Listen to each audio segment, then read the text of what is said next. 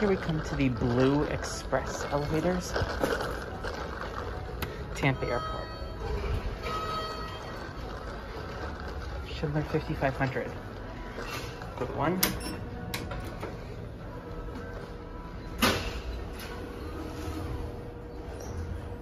Wow, I've never seen that indicator before.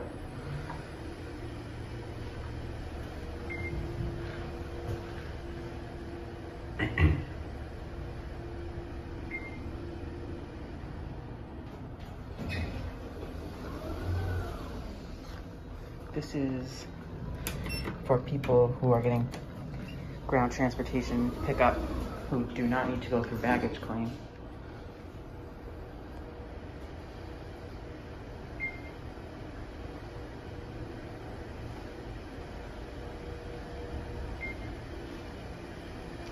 Four thousand pounds.